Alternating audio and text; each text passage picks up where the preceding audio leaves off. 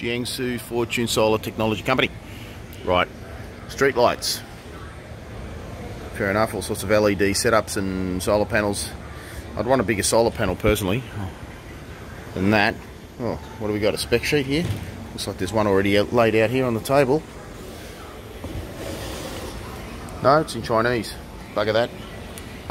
What else we got? And whatever. Solar modules. Don't need that. Put it in a suitcase and take it to the office.